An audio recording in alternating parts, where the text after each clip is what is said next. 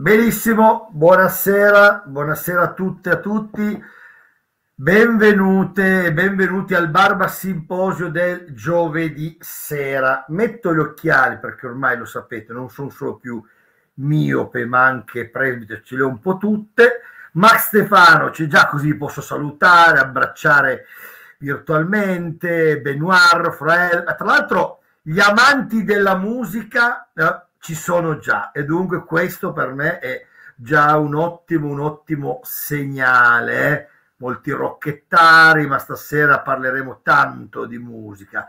Tyler è arrivato, Dottor Gregory House, con il Dottor House come profilo c'è, Gaia c'è, Irene, intrepida, intrepidante attesa, grazie Matteo, ci mancherebbe, come sapete, il giovedì sera io cerco di spaziare nel mondo della cultura a 360 gradi. Alcuni erano rimasti spiazzati, sono rimasti spiazzati eh, per l'invito della scorsa settimana, quando con Guidotti abbiamo parlato di squirting. È vero che era un po' un'anomalia, perché adesso parliamo di storia, di filosofia, di letteratura, sono gli argomenti portanti sicuramente, però mi piace anche un po' cogliervi in contropiede e parlare di cose anche eh, nuove, diverse, per ampliare chiaramente tutti gli orizzonti culturali, perché la chiusura, lo sapete, mm, in realtà non è mai protezione, ma è, è, è, è una prigione. Viviana Mainelli, ciao Saudi, ciao cara, ciao cara, hai avvisato i tuoi allievi, questa, questa volta parliamo di una cosa molto, molto vicina ai giovani, come si suol dire. Chiara Bertone, ciao Chiara, un abbraccio, una mia carissima ex allieva, e qua presente Alexandra c'è, Francesco Siani, buonasera. Ciao Silvia, ti ho risposto prima e anche sto abbastanza bene, la salute regge.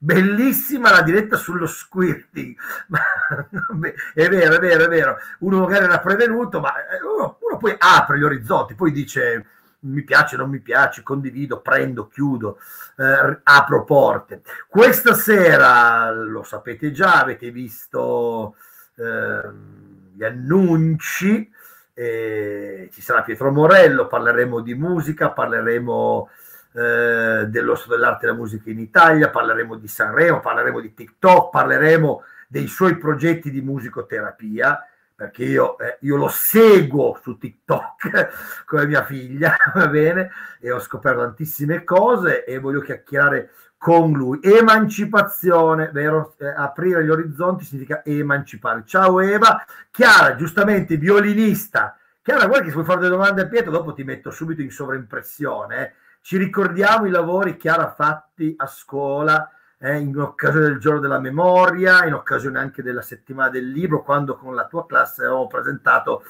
eh, 1984, tu hai fatto l'accompagnamento eh, eh, musicale. Bene, bene, bene, bene. State arrivando, chiamate le amiche e gli amici che andiamo ad, ad iniziare mi volete a Sanremo, ma cosa vado a fare a Sanremo? Vado, vado, vado, a presentare, vado a fare un, un, monologo, vado a fare, chissà, chissà che magari un giorno non finisca anch'io. Oggi ho fatto una bellissima intervista con la Mondadori di Andria e c'era una bambina, ragazza, 11 anni, sei ancora bambini, però. Ciao Carlo, un abbraccio. Carlo, devo poi iscriverti perché oltre eh, alla, ser- alla serata, eh, anche i partigiani, però vorrei fare qualcos'altro sempre sul 25 aprile, ma ti, ti scrivo ti scrivo domani. Ehm, oltre ad Andrea, una bellissima intervista di una bambina di 11 anni che è la direttrice di una biblioteca itinerante, mi ha fatto un po' di domande, è stato veramente, veramente bello. Allora, andiamo ad iniziare, vi dico un paio di appuntamenti in settimana così eh, mi porto avanti. Beh, oggi ho pubblicato un video su Platone, tutto Platone, tutto Platone, tutta la teoria delle idee di Platone compatta in 40 minuti va bene? La trovate ovviamente sul, um, sul canale Barba Sofia. Ho pubblicato altre due lezioni su Galimberti, le cose dell'amore, anche le trovate tutte gratuite su Barba Sofia. Domani per tutti gli abbonati su TP, io vi ricordo che ci si abbona a partire da un euro al mese. Un euro al mese, non so come dice, neanche un caffè, mm, chiaro?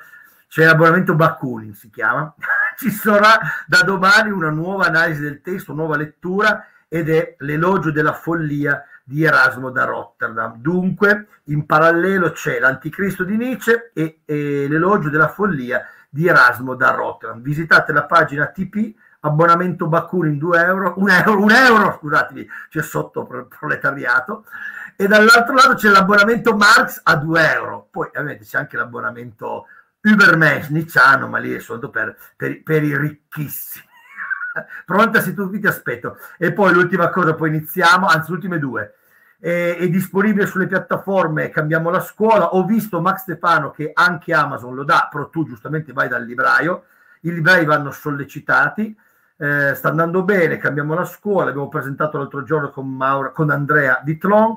Sta dando vita a molti dibattiti. Lo porterò anche con l'asilo del Bosco quando presentare questi temi di Cambiamo la scuola lo trovate nelle librerie, sui portali e mm, bene, questa cosa l'ho detta, l'altra, boh, forse l'altra non, non, me la ricordo, ve la dirò, ve la dirò per... Marx a un euro, Marx è a due euro perché, perché a un euro è Bakunin, nel sottoproletariato, abbonamento sottoproletariato, ah, ecco la novità, nuovo percorso Campus del Cambiamento, Università Popolare Campus del Cambiamento e faccio un corso eh, sull'esistenzialismo, da Kierkegaard a Jean-Paul Sartre, passando per eh, elementi esistenzialisti in Nietzsche e poi ovviamente Martin Heidegger e anche Simone de Beauvoir. Dunque, tantissime cose, l'ho detto, siamo praticamente a 100, chiamate amiche e amiche, faccio entrare l'ospite di questa sera, sono molto contento di avere qua con me Pietro Morello. Ciao Pietro! Ciao a tutti, ciao Matteo, che bello vederti. Sono veramente contento anch'io. Sei l'ospite più giovane che ci sia mai stato, diciamolo subito, al Barba Simposio, ok?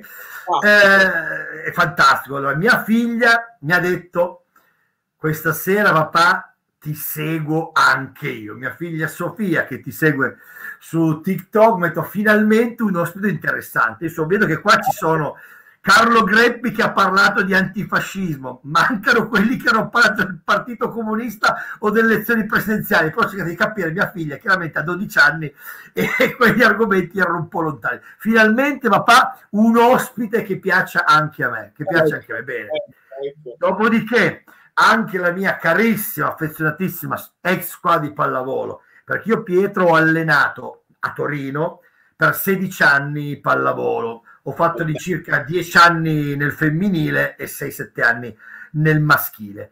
Lo scorso anno la pandemia ha interrotto il campionato e io poi il canale, i libri, il manuale, i festival, non facevo più allen- non, non avevo più il tempo per farlo come mi piaceva farlo, c'è passione. Io quando arbitro fischiava, loro riprendevano in giro, avevo un trasporto totale, non riuscendo ad allenare come volevo, ovviamente lasciato, c'è un altro allenatore, un bravissimo allenatore che ha preso la squadra, stasera, lo, oggi l'ho avvisato, guardate ragazzi, stasera c'è Pietro Morello e loro mi hanno detto ci saremo, dunque io già saluto eh, Clara, Isabel, Bianca, Martina, Ludovica, tutte le mie ehm, ex giocatrici e le bacio e le abbraccio tanto, sapete che siete sempre nel mio cuore. Boh, abbiamo fatto i 100 e possiamo iniziare.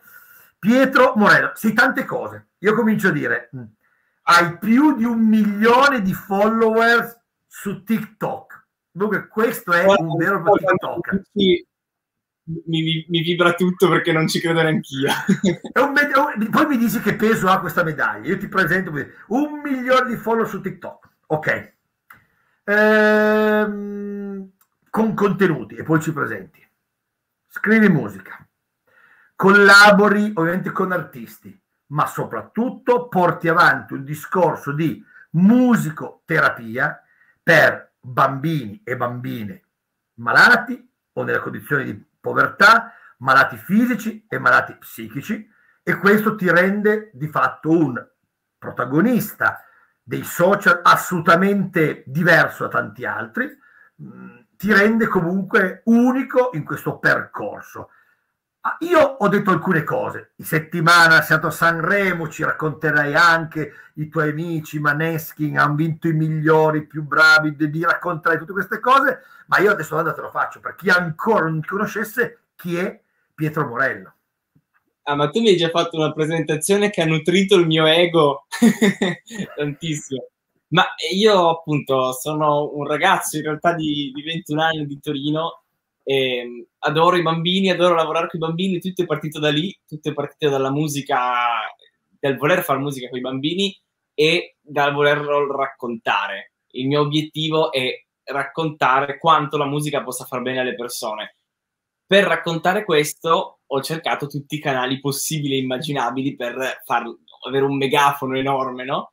E, e, da lì sono nati un po' i social. Poi bisogna studiarsi le tecniche, fai i video ludici e poi parli da un'altra parte di musicoterapia, però comunque il concetto è sempre quello di, di amplificare questo messaggio il più possibile. Quindi questo sono un po' questo. Questo Pietro è quello che tra l'altro, se posso esprimere eh, un mio mh, parziale particolare giudizio, è quello che io particolarmente apprezzo perché conosci i mezzi, li vuoi conoscere e li utilizzi, non sono mai il fine, ma sono il mezzo. Questa è la cosa che io più apprezzo del tuo lavoro, cioè eh, e, e, e, rivedo in te come è nato un po' il mio, il mio progetto, sono progetti eh, simili e diversi, tu chiaramente una voce con i giovani veramente molto molto potente, ma l'idea di utilizzare eh, i social come mezzo per portare avanti un progetto, per portare avanti un fine. Tu però che formazione hai? Da dove nasce questa passione per la musica? Poi arriviamo ai tuoi progetti, ma come nasce Pietro Morello musicista? Ma allora, musicista eh, io ho iniziato a fare, come credo tutti i ragazzi d'Italia, chitarra come flauto alle medie, no? Con un insegnante di chitarra veramente illuminato che mi ha spiegato come vivere la musica e non come suonare quattro accordi, quindi era molto molto bravo. E, ehm, solo che poi si è trasferito a Malta, perché come tu ben sai, vivere di musica in Italia le dura. E, ah, le dura. Le dura. E quindi per fortuna c'era un pianoforte in casa perché mia sorella lo stava studiando, anche lei verso le medie, inizio del liceo, e io ho l'enorme, gigantesca fortuna, che non è un'abilità, è proprio solo una fortuna, di avere l'orecchio assoluto. E l'ho scoperto lì. E quindi mi ha facilitato nel mettermi al pianoforte, ascoltare qualcosa e provare già a giocare. Io quando vedo che fai quello su TikTok ti dico una cosa ormai provo un'invidia pazzesca perché se c'è l'orecchio assoluto nel bene probabilmente c'è anche l'orecchio assoluto nel male. Cioè, e io ho, possiedo quello. Cioè io non ho assolutamente orecchio bene. Dunque solo per, per, per andare un po' a, a mettere i puntini su lì su questi anche sacerdotoni delle competenze delle skills. L'orecchio assoluto non è una competenza che tu puoi ottenere. Puoi diventare puoi avere un buon orecchio lo puoi yeah. ovviamente allenare l'orecchio, ma l'orecchio assoluto ce l'hai o non ce l'hai, vero, è vero Pietro?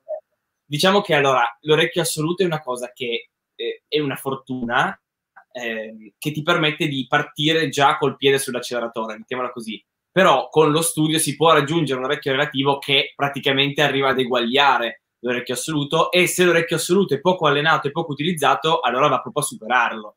Eh, assolutamente. Io poi per carità, non ho mai studiato pianoforte, non ho mai studiato ehm, strumento al di fuori di quei due anni, un anno di chitarra che ho fatto. Quindi mi perdo spesso in mh, mm, fattori di tecnica eh, molto molto precisi. Se mi si mette davanti un brano impossibile, non riesco proprio a suonarlo. Però invece per quanto riguarda l'utilizzare la musica nella mia sfera emotiva e cercare di entrare nella sfera emotiva degli altri, mh, l'orecchio mi ha aiutato tantissimo a, a viverci. Ecco e lo strumento, vedo quello che io vedo eh, su TikTok, in modo sugli altri social, è il pianoforte. Sì, il mio strumento principale, poi la cosa divertente è proprio quella di, di, sperimentare. Una cosa che va molto forte su TikTok è che la gente mi chiede di suonare cose, di suonare le uova, di suonare le carote, e quindi il costruire strumenti musicali nuovi che fischiano, che suonano, sono dei flauti, e cercare di di improvvisarci sopra è proprio il bello della musica. Che dare quando, quando ti chiedono queste cose buffe, co- come le vivi queste richieste? Le vivi come adesso faccio un po' il, um, il giullare, eh, nel senso nobile alla Dario Fo, oppure dici mamma mia devo fermare tutto ciò perché altrimenti no, devo prendere una brutta deriva come vivi queste richieste anche un po' strane del, del pubblico giovanile in primis. è che io posso decidere a quale dare peso e quale no. E quindi tutte quelle che sono veramente al, al di fuori di, di, ogni normalità e di ogni... Ma poi io non sono una persona normale, però al di fuori del decente, allora andare. Mentre quelle che sono più interessanti, per esempio suonare un uovo, che è una cosa che mi hanno chiesto da poco, quindi mettiti lì a, a, a, scal- a scalfire l'uovo per fargli fare un fischio, per farlo diventare una carina, cavolo, è stato divertentissimo. E come hai detto tu, vuol dire farsi giullare alla Dario Fo, quindi un intrattenimento, un intrattenimento che dà anche un messaggio dietro, volto ad avere tanti numeri, tanti numeri, poi li sposti per parlare di, di... Bravo, bravo. A questo sarà l'argomento poi centrale della nostra chiacchierata. Ma scaldiamo i motori, sono già tante domande per te. Ti chiede Irene, ti sei creato gli strumenti tipo gli stomp? Io devo dire che quando divennero popolari andai a vederli poi da amante invece della musica, devo dire che la seconda volta un corso di stop volevo già uscire e buttarmi nel po', perché la prima volta mi ero divertito, la seconda già non mi ero divertito più, però era il mio giudizio. Però quando arrivarono a Torino negli anni 90, prima 90, mi ricordo, concerto gratuito, sembra di parlare di un'epoca, io sono, ero giovane, avevo la tua età, quando c'erano agli inizi, in nostra città, gli Africa Unite, l'inizio dei Subsonica e i Fratelli di Soledad, tutta serie di gruppi in quella nouvelle vague italiana tra fine anni 80 primi anni 90, eh, ma, ma, ma, i gang, poi arrivarono che tipo della City Rambers e poi a me Banda Bardò scorso mese proprio è scomparso, tutta serie di gruppi e c'erano una cosa che dico ai miei allievi adesso concerti gratuiti, ma dove professore? Ma in Piazza Castello, ma in Piazza Vittorio. E poi dove? Alla, pe- alla, pe- sì, alla Pellerina. Vennero i Sex Pistols e gli Scapè e quanti eravate? Eravamo 2003-2004, ma eravamo tipo 40, cioè 40.000 persone a ballare i seguiti di Scapè. Ci capite? Sembra, cioè una, non sembra, è un altro mondo in questo momento. Eh. La nostra città, che purtroppo un po' in crisi per tanti motivi, eh, non è legato al, al, al, al sindaco alla sindaca, è legato a questo processo di deindustrializzazione, la città è chiaramente si è impoverita e quelle cose sembrano veramente lontanissime, più chiaramente la, la pandemia. Tornando Irene, ti sei creato gli strumenti tipo gli stomp oppure no? Ma allora, so- ho creato diversi strumenti che però sono purtroppo eh, morti perché tutti gli strumenti che ho creato fino adesso sono con del cibo, quindi con delle carote, delle zucchine, delle zucche. Eh, bellissimo, crea- suonano per due giorni, poi dopo un pochino marciscono e quindi hanno finito di esistere. Ah, dunque sei un musicista biologico. Ho sistemato il microfono, ditemi se si sente meglio il mio che non segnalato. Quali sono, ehm, Pietro, i generi musicali che ti stimolano di più? Questa è una domanda che mi fanno tantissime persone, tantissime, e alla quale io ho sempre difficoltà a rispondere perché io vivo la musica in un modo molto molto particolare, ma credo che in realtà sia in realtà universale, cioè io ascolto a seconda di come mi sento. Quindi, se mi sento che ho bisogno di carica, io ho bisogno di sentire del punk, ho bisogno di sentire i Sex Pistols, appunto, che mi, mi suonano nelle orecchie. Se ho bisogno di calma, allora mi metto qualcosa di minimale, un, un piano violino, un quartetto di violini, perché la musica accompagna molto le emozioni. Dunque sei onnivoro, musicalmente sei onnivoro. Ti faccio domanda provocatoria io. Qual è però il genere musicale che ami di meno? Di meno, di meno, di meno. Ma sì. allora, è banale nel dirlo, però la, la, degenerazione della trap mi sta facendo un bel po' male. Perché okay, io sono un amante del rap, un folle amante del rap, però la trap per la piega che sta prendendo, mh, più che altro per i, fa- i valori che passa, allora non mi piace. Cioè, con, cioè, condivido, dopo ne, ne, parliamo. Se la mia squadra di pallavolo è in ascolto, vi racconto questo aneddoto. Prima delle gare facevo mettere chiaramente una piccola playlist di musiche per riscaldamento. E io avevo una canzone a disposizione, mi ero messo gli ACDC. Ragazzi, ma se dobbiamo riscaldarci, c'è un gruppo musicale che farà sempre il suo giro di note, non discuto, ma quel giro di note fa uscire i morti dalle tombe e li fa ballare, li fa camminare in mezzo a noi, perché gli CDC quello fanno. Va bene, ma te lo mettiamo. È piaciuto, ma io per mettere quella canzone ho dovuto ascoltare, ognuna ne metteva una, in, erano 14, 14 canzoni, 14 canzoni trap. Allora, trap, qualcuna era bella, altri dicevano, scusate ragazzi, fermate, ma ragazzi, ma qui stiamo parlando di macchina, vabbè, la macchina è vera, la macchina, ma macchina e i soldi. E detto, ragazzi, ma non saranno soltanto questi valori che sono intorno alla vita. Detto questo, lo faccio senza moralismo perché non mi appartiene. io, e, e, fine anni 80, pensa come ero, come, ero, come ero bollito, Pietro. A un certo punto esce al cinema di Spike Lee, fai la cosa giusta, e la colonna sonora è dei Public Enemy.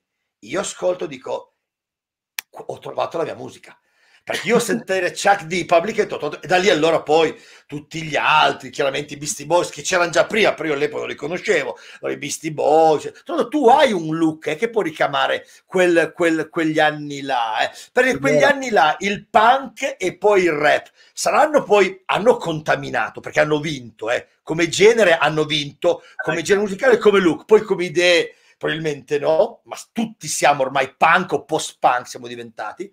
Eh, è vero, è vero, è vero. E addirittura a Sanremo si è parlato molto degli abiti, ma era una vittoria totale del post-punk perché non c'era più nessuno vestito come a un festival di Sanremo di vent'anni fa. Era tutto chiaramente contaminato in, ma- in maniera punk. E dico, quel rap là io anche io dicevo alle mie ragazze a volte, guardate ragazzi, c'era comunque tanto contenuto, va bene, che fosse la East Coast o la West Coast, ma la old school possedeva comunque dei contenuti.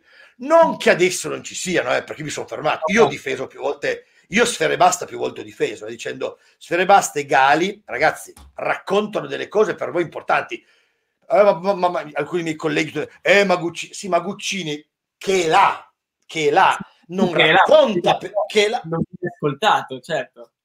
Ma non racconta no, la vita di una quindicenne di adesso. Gucci non gliela racconta. Quando magari lei avrà un gusto musicale più anche raffinato e complesso, scoprirà quelle bellissime canzoni. Ma non è un cantante che sta intercettando la propria, la propria esistenza, vero Pietro? Assolutamente, al 100%.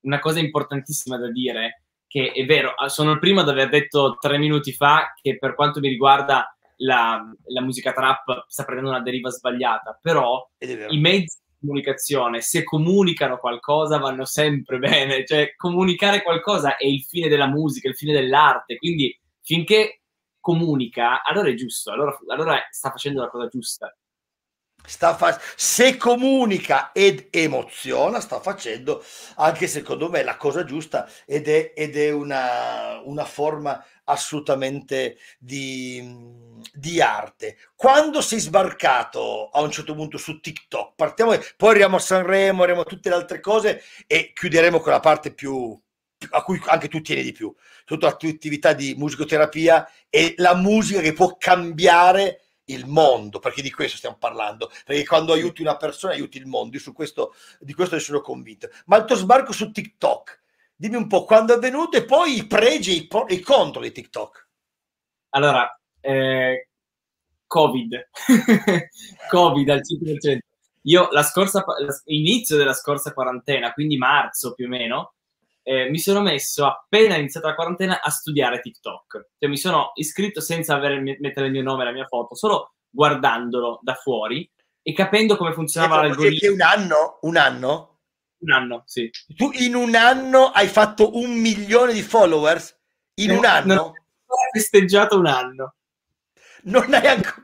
Ai miei spettatori, cioè in neanche un anno un milione di follower Va bene, eh, allora hai, studi- hai, studiato, mi piace. Pensa che l'altro giorno mi hanno chiamato un'agenzia di, di turismo, no? che, ha, che, ha, una rete di, di, viaggi, perché chi fa filosofia può anche fare formazione, molti non, non, non, lo sanno, ma uno fa questo mestiere anche in tanti modi. E parlavo di viaggi con dei tour operator e, mm, e spiegavo loro che la prima cosa da fare è conoscere i social non tutti i social sono uguali e non su tutti i social si fa una cosa. Facile dire eh, la Ferragni è bella e fortunata. No, no, conosceva il social. No, no. Poi mille altre cose, ma conosceva il social. Prego, Posso... adesso...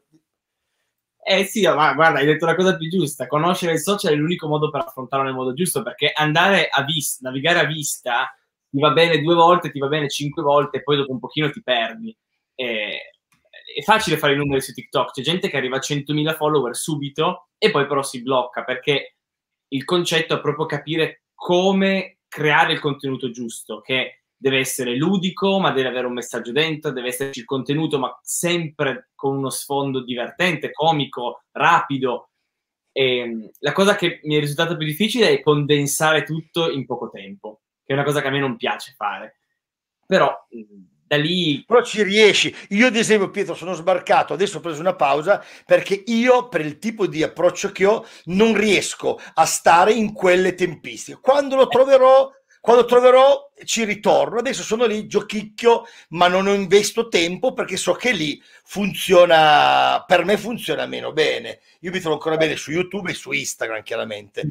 No, eh, più di di tempo. Un, un di tempo. Tu prediligi 15 secondi o il minuto? Più o meno vedo che entrambe le cose fai. Il minuto però principalmente il minuto, il minuto. per me è importante, questo è un fattore poi educativo in realtà, c'è uno sfondo pedagogico. Eh, se si destruttura il livello di attenzione ai soli 15 secondi è un disastro, è un disastro. Ci sono eh, tantissime persone, che, tantissimi ragazzini che non hanno più una soglia dell'attenzione sufficiente proprio perché hanno 15 secondi, 15 secondi, 15 secondi e quindi dare, dare, più tempo, più spazio ai contenuti è fondamentale. Io comunque sto sempre sui 40 secondi minuto perché è il massimo che ho e, e ci provo alla grande.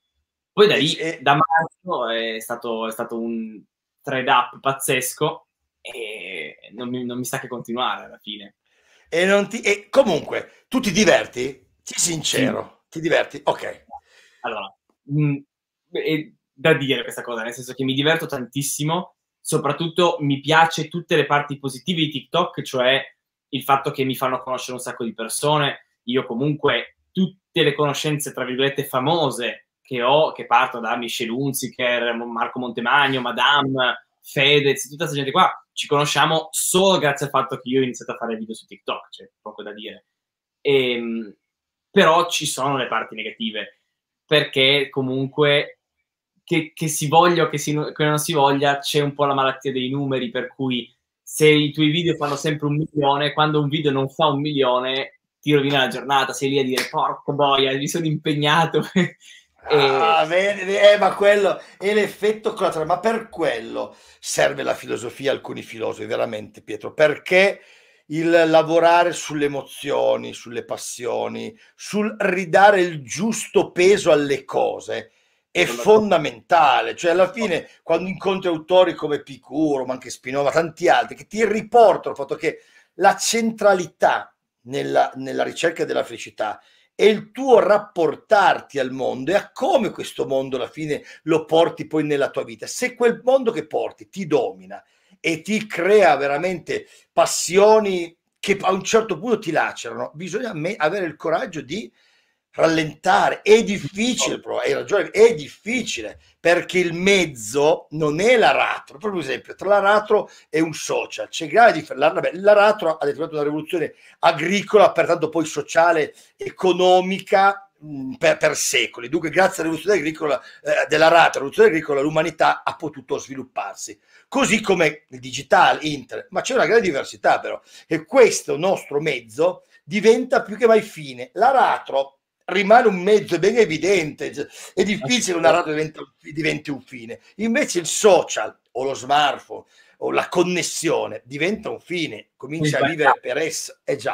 Comunque, sei stato onesto, capita anche a me ovviamente. Io come vedi non faccio montaggio, lo sto vivendo mo- io comunque ho un'età, sono un po' più avanti con gli anni, vado, ho 47 anni, ho tre figli, insegno da 20, non sono un di, mh, nato digitale, un nativo digitale, arrivo dopo e mi permetto di dire per alcuni aspetti riesco a mantenere un distacco, però a volte quando un video va bene sei contento, va bene o bene, dici, ma chissà cosa, e un, po', e un po' ti rimane, dici, ma cosa ho sbagliato, chissà come mai, cioè è vero, o anche gli haters, io ne ho molto pochi perché viene anche premiato il fatto che è un servizio, penso che anche tu hai pochi odiatori, vero?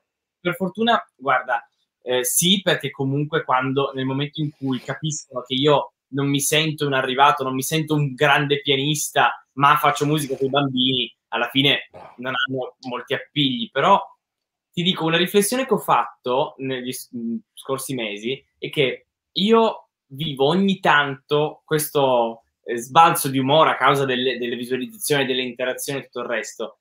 Però io ho una base emotiva gigantesca che è quella dei bambini, per cui mi, mi distacco, cioè sto male un'oretta, poi vado dai bambini e boom, faccio scorpacciata di felicità.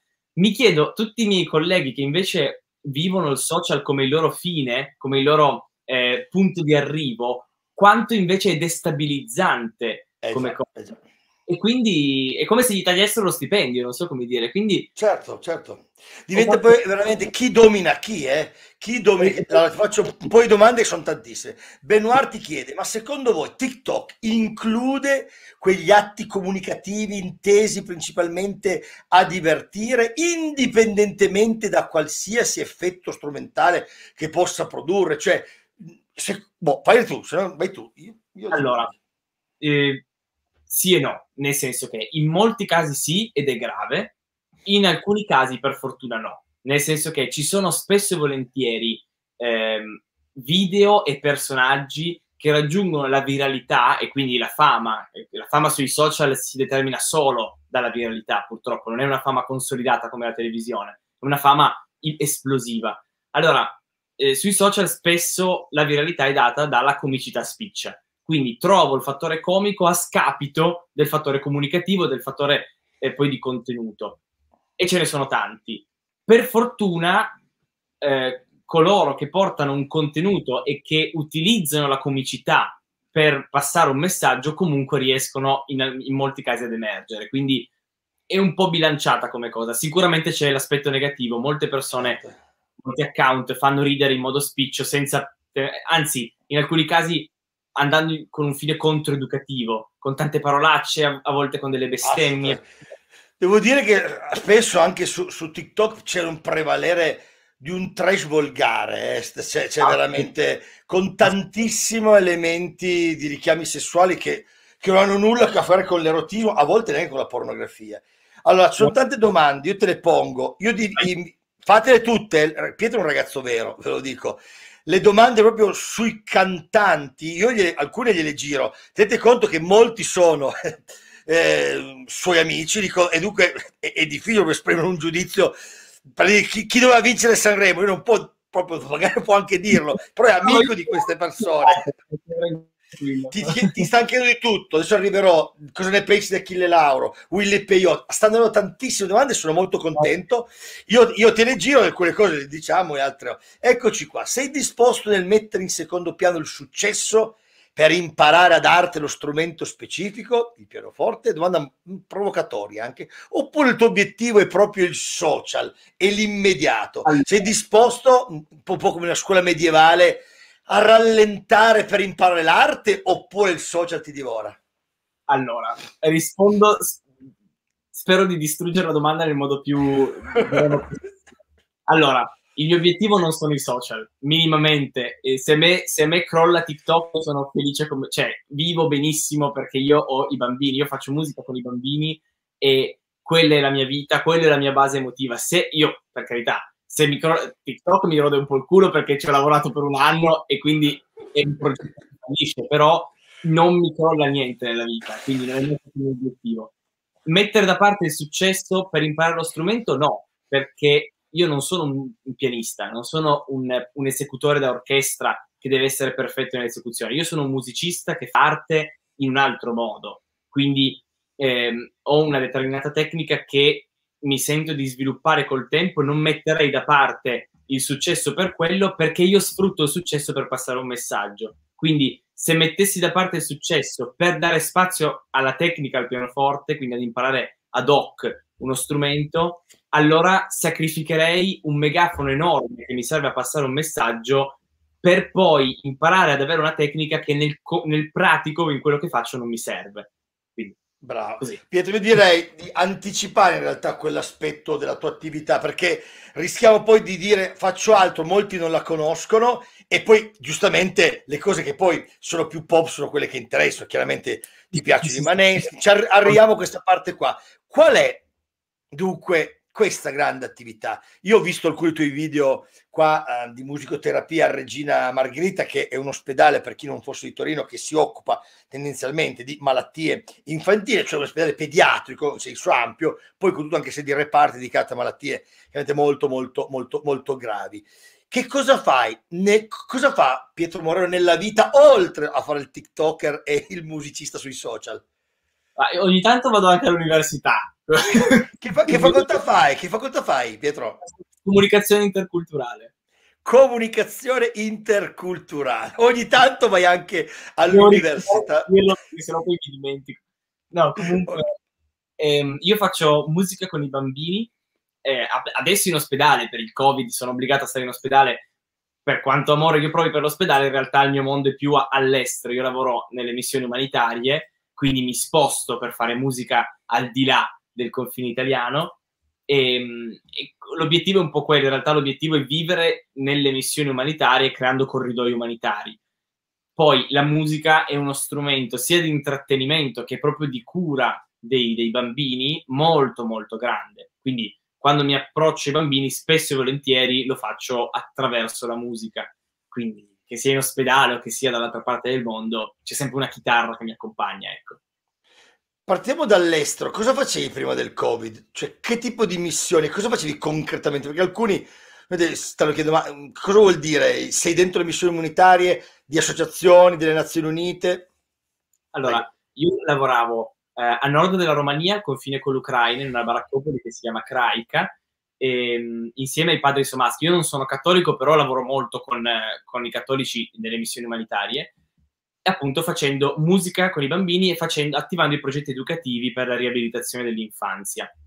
Poi mi sono aperto diverse basi attraverso altre associazioni, c'è Una mano per un sorriso, c'è eh, Il mondo nel Ruanda, per cui cerchiamo sempre di portare, per esempio in Kenya, con una mano per un sorriso, abbiamo proprio l'idea negli anni di fondare una scuola di musica per i bambini.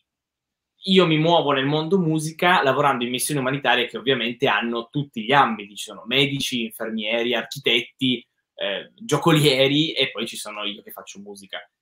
Però lavoro in diversi spot. Eh, in che zone sei stato? Ci chiedono, l'hai già detto, Kenya, eh, Ucraina, poi hai detto? Poi adesso ho una base aperta al confine tra Turchia e Siria e andrò questo Dunque in una zona di, di, fatto una zona che è stata travolta no? dalla guerra. Distrutta, cioè hanno rovinato una parte Ti posso chiedere una cosa, Pietro, cosa ti, cosa ti danno? Cosa dai ai tuoi ragazzi? È evidente. Cosa ti danno i ragazzi a te? Eh, ti rispondo in modo diverso da come si dovrebbe rispondere, perché a me danno la voglia di tornare, che e cioè, per tornare in Romania dove, dove, c'è una baraccopoli, la baraccopoli puzza, cioè è bru- non è un bel luogo né per i bambini né per chi ci va a lavorare, quindi per voler tornare lì vuol dire che c'è una spinta da parte dei, dei bambini talmente forte da dirti cavolo devo farlo. E quindi a me lasciano quello, a me lasciano la voglia di tornare che è gigantesca come, come cosa rispetto a a dirti mi lasciano i sorrisi, mi lasciano i, i ringraziamenti o le emozioni, mi lasciano la voglia di tornare e di continuare a farlo. Ti lasciano la voglia di tornare. E vuol dire che porti con te un, arricchi, un arricchimento, porti con te proprio un, un arricchimento. La zona più, più, più eh, devastata che hai trovato, la situazione più devastante dal punto di vista qual è? La Romania perché, la Romania, perché? Perché è un contrasto e all'interno dell'Unione Europea tutti si aspettano, boh, quindi vabbè dai, si sta bene. Invece trovarsi immersi in una baraccopoli eh, proprio ai, un ai... paese europeo, una baraccopoli dentro un paese Unione Europea.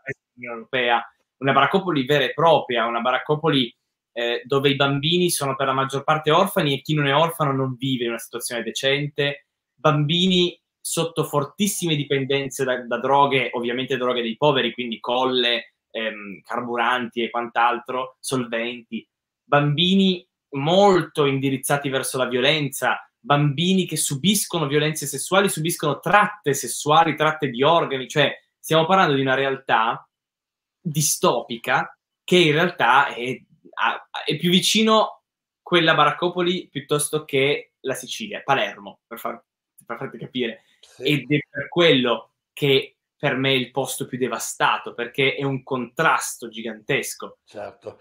Eh, per dire, vado in Siria, mi aspetto, vado in Ucraina, qualcosa mi aspetto, invece arrivo in quel luogo, in Romania, dunque quelle cose che leggendo, non so, internazionale o leggendo riviste vengono testimoniate tu l'hai vista veramente, questo discorso del, dei bambini, la colla, le droghe, i carburanti è una realtà reale, non è la, la, l'ingigantimento no, di narrazioni che vogliono un po' stupire. No, no, è una realtà reale.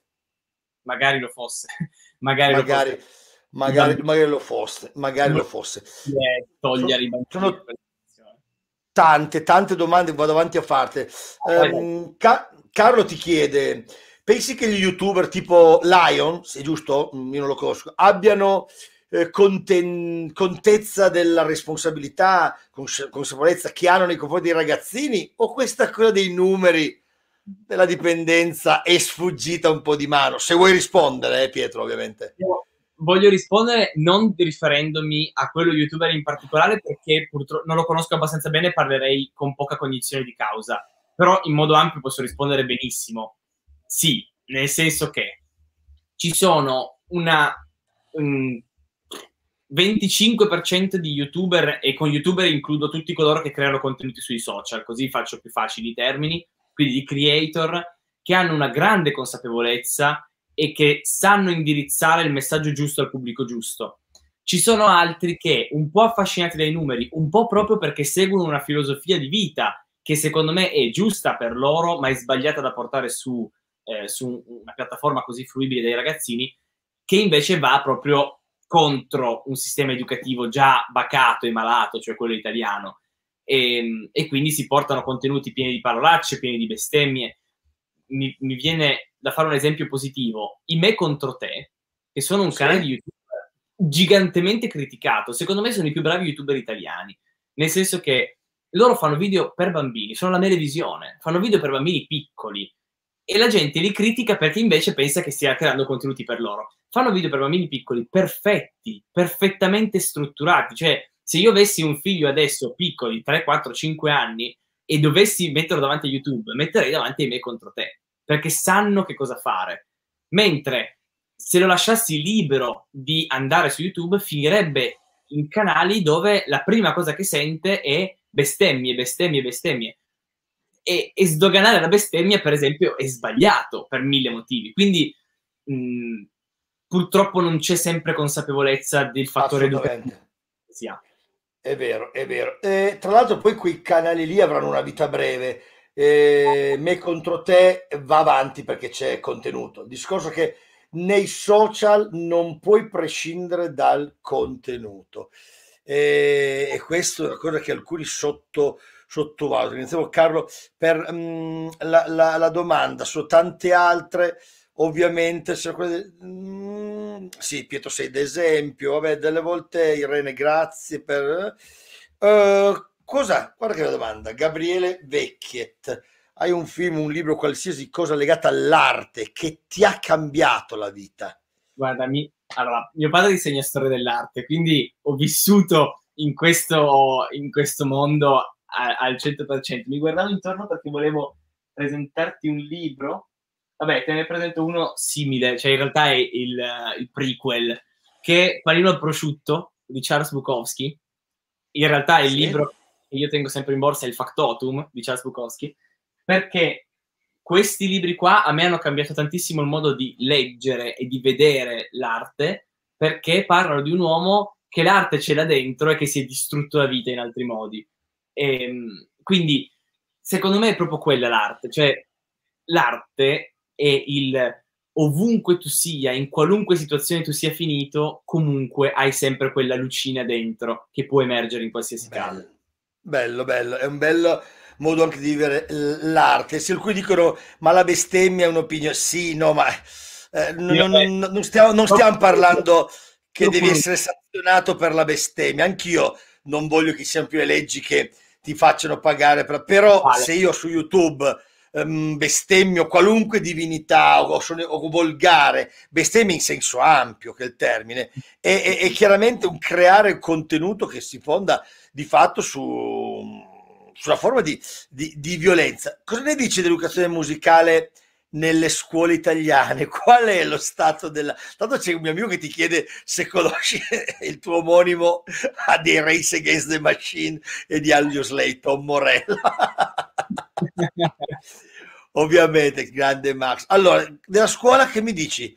Lo stato dell'arte della musica a scuola. Ah, ah, puoi andare duro, puoi andare duro, puoi andare duro. Allora, non si fa bene, non si fa abbastanza. La musica soprattutto, la musica soprattutto, cioè siamo in una situazione in cui al liceo delle scienze umane è stata tolta la musica, e c'era ed è stata eliminata.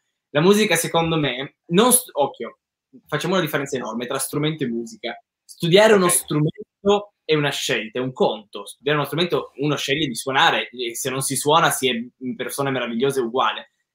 Invece studiare musica è importante tanto quanto studiare la filosofia, secondo me, perché studiare la storia e con storia non intendo solo le guerre e i papi, che è la storia che noi impariamo in. Dai, no, ma... io, io, non la faccio così. generalizzato. Però studiare la storia, storia delle religioni, si fa, quando si fa religione a scuola, nella maggior parte, occhio, non voglio generalizzare, non voglio passare messaggi sbagliati, però nella maggior parte si fa catechismo praticamente, quando in realtà religione dovrebbe essere storia della religione musica, dovrebbe essere storia della musica. Ma perché questo? Perché noi ci lamentiamo che i ragazzini eh, ascoltano solo trap, ma poi perché lo fanno? Perché non hanno mai ricevuto un avvicinamento alla musica diverso.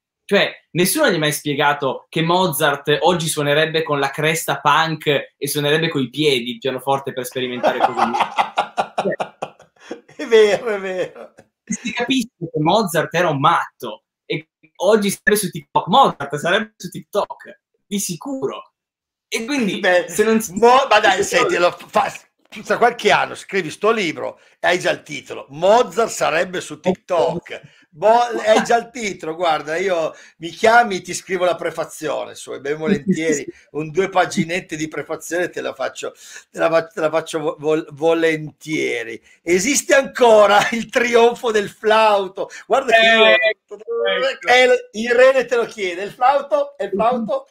Ma il flauto, occhio, io sono molto a favore del flauto, cioè allora, il flauto che è soprannominato da tutti i genitori italiani smetti di suonare altrimenti ti uccido, che è proprio il nome dello strumento tecnico, è, è uno strumento perfetto per l'avvicinamento alla musica, perché è uno strumento che dà un feedback immediato. Qualunque cosa tu faccia, quell'affare fa un suono. Quindi eh, serve molto ad avvicinare un ragazzino al mondo della musica prodotta non però alla storia della musica, che è ancora un concetto che le medie non fanno, non ti insegnano ad apprezzare la musica classica, che è una musica spettacolare.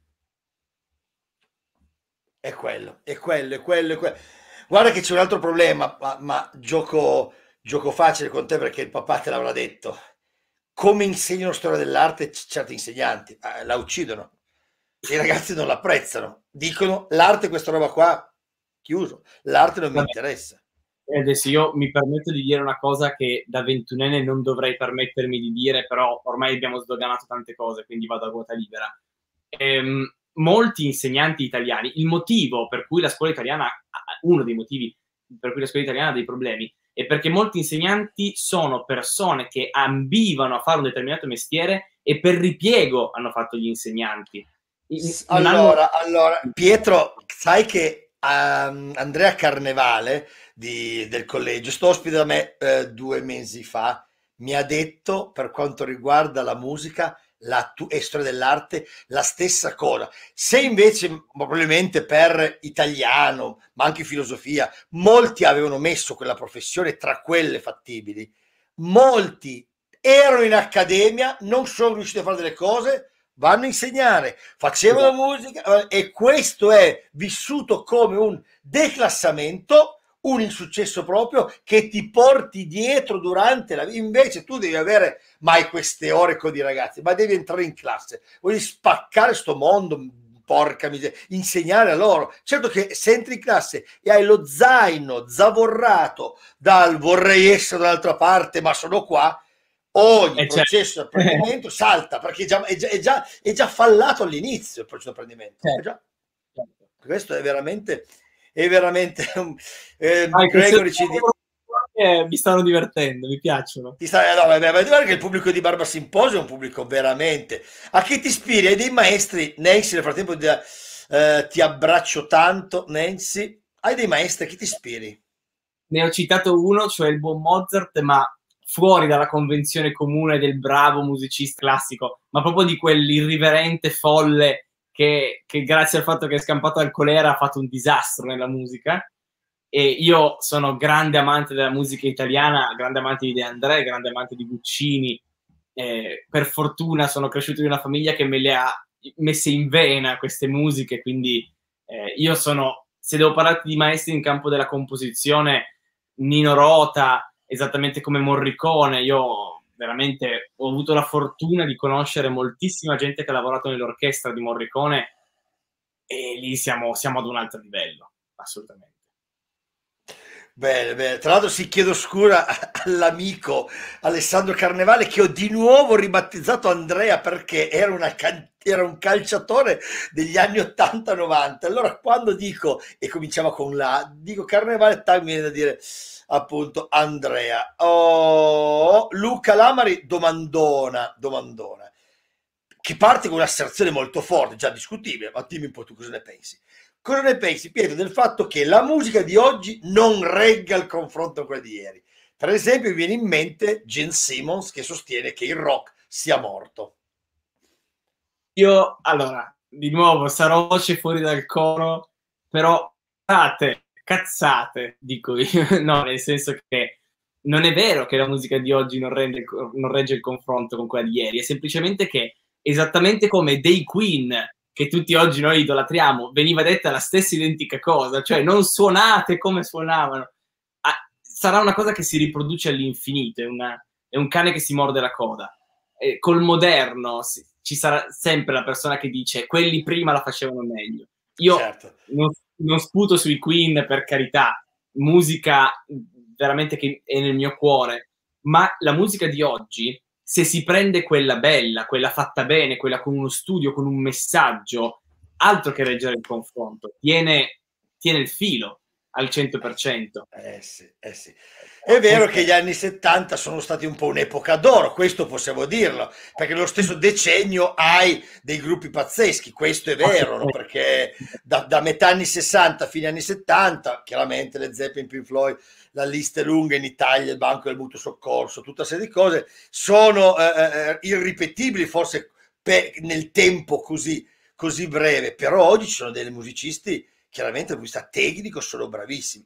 Io a volte dico, eh, io amo di più Guccini, ovviamente perché è la mia storia, di André, ma quando cito Bruno Rissas non sto penso bestemmiando dicendo che ver- rimarrà come un grande cantautore. Poi ovvio, io preferisco Guccini, però non è che stiamo dicendo da una parte c'è il diavolo, dall'altra parte l'acqua santa, cioè cose imparagonabili. Assolutamente no. È un cantautore che ha dei testi veramente molto belli. Veniamo al performer. Pensa che io oggi ho ricevuto anche sulla mia pagina Instagram questa domanda. Me l'hanno chiesta anche i miei allievi in classe, professore, cosa ne pensa della musica e della performance, perché è un musica performer, ovviamente, di Achille Lauro. Pietro, io te la faccio se vuoi rispondere, se puoi. Allora, allora parlo togliendo ogni condizione di... Mm, Vi conoscete be- voi? Vi conoscete? Molto poco, per, per, fortuna, nel senso di per fortuna per questa domanda. Io avrei piacere di passare più tempo con, con Lauro. Ci conosciamo molto poco, ci siamo interfacciati un po' a Sanremo per forza di cose, ma ci conosciamo davvero poco. Allora, ehm, dal punto di vista musicale, solo musicale, a me Achille Lauro non ha mai convinto, ma perché ha una musica criptica, ha una musica più complicata, ha una musica per cui il messaggio è velato dietro parole difficili da comprendere, difficili proprio da, da decriptare per come sono cantate. E sinceramente non lo trovo un bravo cantante, cioè che se, se lo metti a fare una, un, un pezzo complicato dal punto di vista vocale, secondo me non lo regge bene come altri. Abbiamo tolto la critica, abbiamo tolto la parte critica. La parte positiva che fa di lui un bravissimo musicista e un bravissimo performer, ancora di più, è il fatto che il messaggio di Achille Lauro è 10 gradini sopra al messaggio di un sacco di cantanti che invece sono spettacolari, spettacolari. Cioè, eh, mi viene da fare un paragone veramente azzardato, non me ne voglia nessuno. A questo Sanremo abbiamo avuto Orietta Berti e Achille Lauro. Orietta Berti, voce, indec- cioè veramente voce impressionante, ancora adesso a 80 anni, spaziale, sempre stata una voce divina e ha ridimostrato di esserlo. Una delle più brave cantanti mai state in Italia, eh, però dal punto di vista invece del messaggio, niente da dire, Achille Lauro è un pianeta sopra, quindi la musica di Achille Lauro è fortissima perché dietro ha un ampio messaggio incredibile, poi lui è un performer. Eh, poi lui è un performer, cioè questi quadri che ha proposto erano, erano in, um, incredibili. C'erano tante altre domande. I, I, tuoi amici invece, Maneskin, i nazi skin del Rettaberti. I Maneskin sono... Non è una musica che io ascolto, partiamo da questo. Sono bravissimi, hanno spaccato a Sanremo insieme a Manuel, hanno veramente fatto scintille sono bravissimi perché arrivano a un pubblico molto vasto, molto ampio e sono paragonabili da questo punto di vista a Ultimo. Ultimo musicista criticatissimo perché fa musica che tutti definiscono, passatemi le virgolette, per ragazzine. Secondo me, se lui è arrivato fin là, un motivo ci sarà. Cioè, fanno musica fatta bene, bella, fruibilissima, che arriva a tutti. La musica dei Maneskin te la metti e la ascolti. Io li trovo veramente bravi, vittoria di Sanremo meritatissima. Vittoria meritatissima, dici. Eh, c'è la polemica, tra poco giorni farò un video di commento un po' del loro testo sulle pagine Facebook di insegnanti, si è interpretato questo testo come una mancanza di rispetto nei confronti di insegnanti. Eh, io, tra l'altro... Eh? È una mancanza di rispetto nei confronti degli insegnanti gigantesca, molto, molto difficile da contestualizzare perché... Però io mi sono detto questa cosa, Pietro. Se tu nella tua vita hai incontrato degli insegnanti che ti hanno fatto arrabbiare, appunto, o ti hanno fatto incazzare, tu sarai anche libero di poterlo cantare. Cioè, a un certo punto io la lesa maestà non la sopporto, non la sopporto nei confronti del eh, re di Spagna, dunque la massima solidarietà al rapper spagnolo, firmato con assalti frontali, murubuti, inocchi, tutta serie di rap per l'appello per l'immediata scarcerazione, per quanto possa contare la voce di Barbara Sofia, ma essendo eh, così eh, vicino ai studenti conta anche un pochettino la mia voce. Dunque non c'è lesa maestà per nessuno.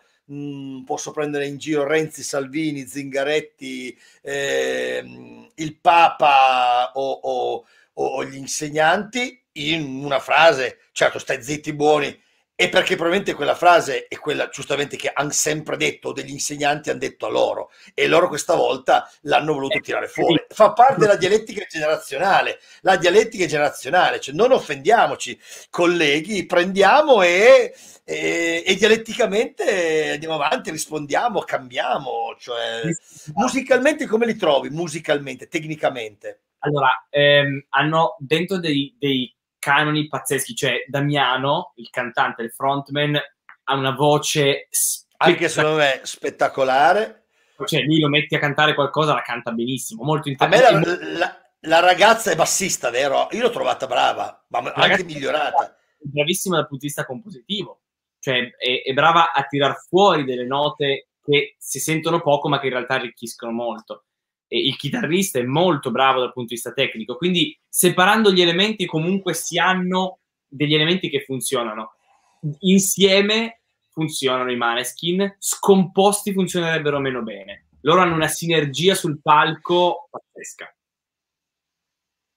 Giustamente la mia amica Viviana ci ricorda finalmente il rock a Sanremo. In realtà non è vero, certo, c'erano altri rockers in negrita e Vasco, brava Viviana, Vasco chiaramente è il grande Vasco. boss, eh, però è un rock, posso dire Viviana, allora in Negrita ci sta, Negrita Vanessa ci sta, il, Vasco, il, il, rock, il rock di Vasco è ancora, mi sembra, un'altra dimensione, poi ha dei pezzi con le chitarre eh, ruggenti anche Vasco Rossi quando aveva quei grandi chitarristi con lui però è, è un rock in Negrita hai, hai, ragione. E che loro hanno vinto cioè i Maneskin eh, eh, eh Maneskin cosa metti l'accento scusa Pietro? Maneskin, Maneskin Maneskin, okay. um, i Maneskin hanno vinto e, e, e, hanno portato sicuramente delle, delle, delle schitarrate importanti sul, sul, sul, teatro Aristo. Willy Peyote, come la pensi? C'era la domanda prima. Willy Peyote è il nostro concittadino. È il nostro concittadino, sì, sì, sì. Io penso che lui sia... Allora, di nuovo, riproponiamo un po' le stesse cose. Dal punto di vista eh, sonoro eh, quindi di, di, di, quanto è bravo a cantare, meno bravo di altri, per quanto comunque è arrivato fino a Sanremo, un motivo c'è, però di nuovo, cavolo che messaggi che tira fuori, cavolo Eh che già. testi, Dai, molto, testo è bello. Eh già. molto provocatori, ma anche Francesca, madame, mia amica del cuore, ha tirato fuori un testo che è una provocazione continua, è, è pazzesco, pazzesco. Eh, bene, bene, bene, bene. C'è chi ci ricorda, ma il rock è trasgressione, non dimentichiamolo. Dunque Ah. vale anche... eh, eh, eh, ma si può essere trasgressivi a Sanremo? Si deve essere trasgressivi a Sanremo, no, non si può in realtà, non si può perché viviamo... Ah, adesso rispondimi, pensaci bene, dammi una bella risposta. Il contenitore cambia il contenuto, sì o no? Allora, allora, quest'anno l'abbiamo un po' sdoganata questa cosa, tendenzialmente alla grande. Viviamo in, un, in un'epoca dove l'eccessivo politically correct ha veramente smontato le balle e ha veramente raggiunto dei livelli tali per cui non si potrebbe essere trasgressivi a Sanremo, bisognerebbe seguire un po' quella vena sempre romantica, sempre ehm, buona che c'è stata a Sanremo, quando in realtà se Sanremo lo si prende per quello che dovrebbe essere e non per quello che è, allora Sanremo dovrebbe essere il festival della musica e il festival in realtà poi dello show, del, del business della musica, molto più che della musica in sé. Se lo prendiamo per quello che dovrebbe essere, cavolo, ci dovrebbe essere solo trasgressione, perché la musica è trasgressione. E la, La musica, musica- è trasgressione. La musica è prendere i canoni classici, prendere i canoni che abbiamo, cioè cavolo, quando uno scrive punk rock, utilizza do re mi fa sol la si do, che lo utilizzava Vivaldi, cioè prendiamo i canoni classici e li destrutturiamo, li utilizziamo in un altro modo. E quello è quello che dovrebbe essere. Quello che in realtà purtroppo è anche, ci sono dei cancelli, è una gabbia. Beh, condivido tutto, Pietro. Guarda, vedi, non- perché io sono rock dentro, anche sono più vecchio di te, Pie- la sto, la sto cantando io per eh, ringiovanire. C'è una domanda criptica, ma io penso che Chiara Bertone tu la conosca. Perché ti è Pietro, ma dov'è il vicino di sopra? Ridendo. Chiara, Chiara Bertone è stata una mia carissima allieva che è stata, l'ho maturata, non ero in commissione io, però l- scorso anno, e ti dice Pietro, ma dov'è il vicino di sopra? Ridendo. C'è qualcosa di segreto, probabilmente. Va bene, va bene. No, Lo- niente segreti, niente segreti. Eh, c'è un trend su TikTok di miei video che va molto forti, vanno molto forti, in cui il mio vicino di sopra mi urla addosso perché io suono tardi la sera. ecco perché, ecco, ecco, ecco perché. Uh, anche i Blue Vertigo, ci ricordo, sono andati a Sanremo. Eh, Vasco Rossi ha finito quando è andato via Massimo Riva, eh, ognuno ha i suoi giudizi, ci, man- ci mancherebbe. Qui vanno a toccare. Ah, beh, Litfiba è vero, eh. Io i, pri- i primi Litfiba, ragazzi, io ho i brividi. eh. Quando penso ai primi album dei Litfiba, penso che lì per me il rock italiano ha raggiunto una delle massime, delle massime espressioni. L'album Ragazzi. Tex è qualcosa di. A me piacciono i Ramon, sì, sì, Max. Io, io sono un amante dei Ramon, proprio perché quando i Ramon fanno proprio divertire, oltretutto. Oltretutto, Vasco eliminato subito, gli After Hours, ricorda, Nancy, sì, sì, sì, sì, sì, sì. 40 anni per accettare il rock in Italia, Ivan Graziani, ma state citando veramente dei giganti, ma c'è una domanda eh, eh, che sono perso, ma me la, me la dovrei ehm, ricordare oppure no, eccola qua, importante era, non era Littiba, mm, bah, boh, l'ho, l'ho persa, eh, la Killer House ha, ha rivoluzionato Sanremo, ah eccolo qua, perché è un cantante che io amo e ti chiedono di Caparezza, io bah, lascio a te. Allora, eh, a parte che io e Caparezza abbiamo una cosa in comune, ovvero l'acufene, quindi lo compatisco. ah già, dell'ultimo album, Prison, lui ha parlato di questa sua questo Molto- problema. Tut- tutte le, le cose, le cagate. Eh, Caparezza è, è un- è un ma- è una montagna. È una Eh, ma- che secondo me. cioè, Perché Pietro, po' quando fai 7-8 album così, non quando ne fai uno, ma quando tu hai 6-7 album così, e, e lì la, la differenza è grande, eh, Pietro. Caparezza non ha fatto un brano conosciuto che dici ha spaccato con quello e poi vive di rendita. Caparezza ha fatto una discografia di, di oro e di platino, cioè veramente ah, è, è- un- è una montagna del rap, ovviamente una montagna di quel settore, ma dice delle cose con una violenza, con una potenza. Poi lui ha un'ironia, ha saputo cantare eh, l'Italia cambiando, si è esposto in quest'Italia un po' ignava politicamente, ha preso, le, ha preso delle posizioni su dei grandi temi, che fosse il G8, che fosse la TAV, che fosse la mafia, assolutamente. Quando ha tirato fuori viene a ballare in Puglia, che è il brano più esatto. conosciuto che va nelle discoteche di, tutto, di tutta Italia. Quando viene a ballare in Puglia parla del disastro industriale, cioè non, non parla eh già, di... È vero, è vero. Eh c'era una domanda sulla musica che è proprio tecnica, tecnica pura, un po' come la fusion. C'è una domanda bella, devo andare a recuperarla. Eh. Una domanda, cosa ne pensa della musica nel momento in cui è soltanto musica e non parole? E, e, e, cosa ne pensavi della musica fusion? Eccola, oh. eccola. Cosa ne pensi della musica prettamente strumentale, scusa, che punta all'esuberanza tecnica come la fusion? Allora, ehm, sono due cose che si possono distinguere. Io faccio musica prettamente strumentale, così rispondo già alla domanda, cioè eh, i miei brani che sono usciti, che usciranno, sono solo strumento. Io suono il pianoforte e poi metto insieme, scrivo anche per violoncello, quindi metto insieme più strumenti, però io faccio musica senza testo, solo strumentale. E, e quindi la amo, la amo tantissimo mentre per l'esuberanza tecnica, che secondo me è una cosa che si può distinguere, perché la mia musica prettamente strumentale, per esempio, anche quella di Einaudi, per dirtene un altro, un minimale, o di Jan Tierschen, sono tutta gente che non ha mostrato una tecnica incredibile quando suonava, sì. perché sono brani molto eseguibili. L'esuberanza della tecnica, quindi la sovraalimentazione della tecnica è un'altra cosa, è un, un altro modo di fare musica, secondo me altrettanto bello, che però va a distinguersi un po' dalla musica che è solo strumentale. Per esempio, uno da citare in merito, un genio, il buon Paganini. Paganini è, è stato un genio della, della composizione per archi, per violino in particolare, che mostrava la sua tecnica spiazzante in ogni pezzo, sono pezzi complicati, i capricci sono dei pezzi quasi eh, impossibili da eseguire nel modo corretto, e, e quella è un'esuberanza tecnica. Quindi... È un'esuberanza tecnica. Che, che l'importante cioè, a, volte anche quando è manieristica può essere apprezzata. Poi se è un manierismo ripetuto, chiaramente stanca, ma vale per qualsiasi eh, arte, no? Anche la pittura manieristica è un po' stanca. I registi, a me Nolan, gigante, a volte stanca perché vuole farti vedere quanto è bravo tecnicamente e a volte la storia ne risente a favore di un manierismo estetico, però sono poi giudizi personali. Anche Tarantino nei suoi capolavori, il mio regista preferito vivente, ha delle sequenze a volte che vuole farti vedere quanto è bravo e dunque diventa proprio sfoggio tecnico. Di Madame nei Giappone, allora questa è carina, anche dei Maneschi ci dice ehm, dei Maneschi Max Stefano. I Maneschi sono innovativi solo nel panorama italiano, perché chi ascolta musica internazionale sono strasentiti. Ti faccio la domanda, ne colgo, colgo l'occasione.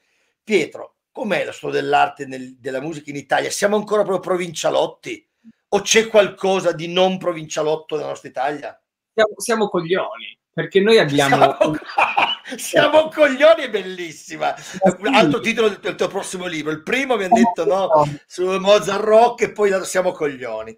Noi siamo coglioni perché abbiamo un patrimonio eh, artistico e musicale passato talmente grande che potremmo essere i pionieri ovunque. Noi potremmo essere stati pionieri del punk, del metal, del rap, della trap e non lo siamo, arriviamo sempre dopo gli altri perché siamo un po' coglioni e non sfruttiamo perché come ho detto prima, per fare il nuovo serve, serve avere il vecchio ed è sì, pazzesco.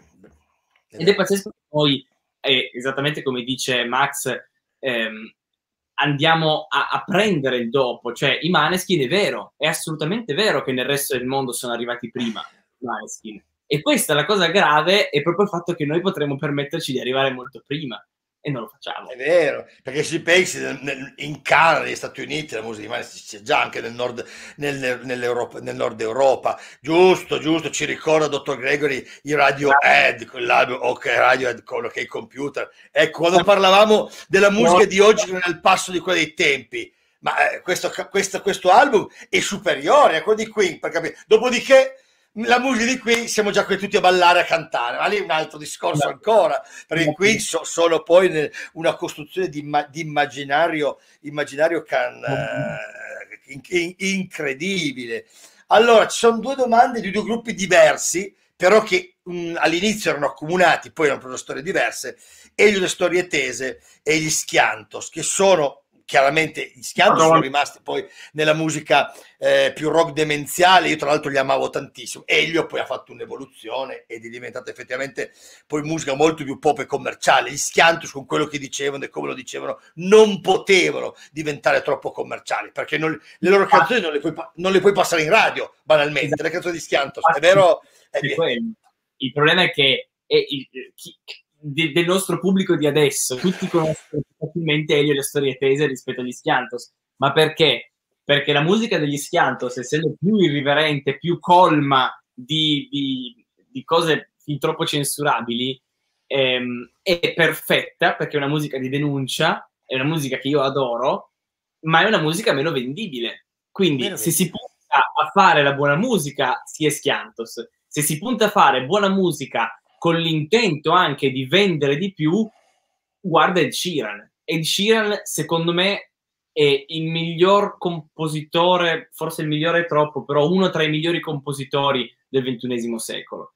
E Ed Sheeran ha fatto delle musiche, dei testi veramente inarrivabili, poi ha fatto Shape of You, che è stato un fenomeno pop. Eh, ma pop. pop nel senso di eh, non della musica del popolo, ma della musica, eh, come posso dirlo, commerciale.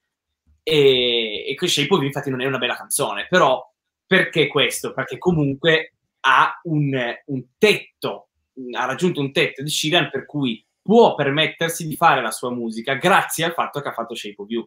È un po' esatto. collega TikTok questo discorso. Io posso parlare dei bambini, posso parlare di musicoterapia, posso fare video seri, perché ho costruito una base di videoludici che mi hanno portato Però, a... Scusa Pietro se, se, torno su questa questione. Eh, stiamo parlando io del 74, tu del 99, ma vorrei ricordare a chi sta ascoltando, anche e soprattutto se ci sono, se c'è ancora mia figlia, se ci sono ancora i suoi compagni o compagni, ragazzi e ragazze delle medie, tu sai che alle medie sei molto seguito anche in quella fascia di età, dunque dagli 11 ai 15 anni vorrei ricordare che Pietro Morello sta discutendo di musica e di gruppi lontanissimi dal suo vissuto, perché dietro c'è la curiosità e lo studio.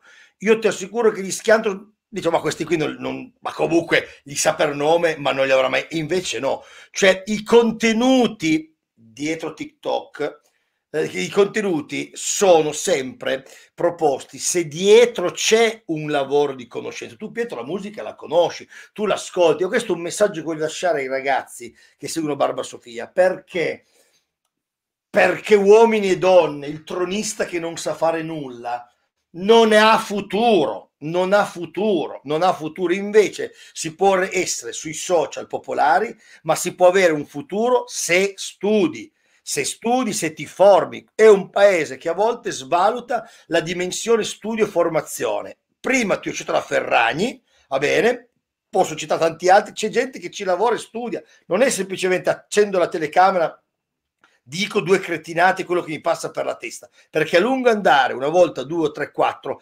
cadi, poi cadi, poi non rimane niente. Io su questa cosa veramente Pietro... Eh? Sì, c'è, devo dire salutare, vieni qua. Eh, ecco mio figlio che sta dicendo che stanno ancora ascoltando. No, è così, è così, è così. E di Elio cosa pensi invece? Allora, fino a 4-5 anni fa io lo ascoltavo mentre facevo la doccia, cioè io lo adoravo. Eh, Era, ha detto delle cose pazzesche mi è un pochino caduto nel tempo, ma solo, adesso per carità non mi permetterei mai, io ho tantissima stima di Elio, eh, quando ha cominciato a fare il giudice nelle trasmissioni, perché ha cominciato a eh, demenzializzare se stesso in un modo diverso rispetto a come faceva con la musica. Ehm, il che mi dispiace un po' perché si vede che lo fa anche per necessità. Poi, poi io stima assoluta, credo che farei la stessa identica cosa. Non sono superiore a lui minimamente, credo che finirei lo stesso giro. Però se devo parlarne col senno di poi e un pochino con uno sguardo esterno, così. Capisco. Allora ti faccio una domanda. Tu lo faresti il giudice? Sì, sì, sì, sì. sì. Anche lo faresti?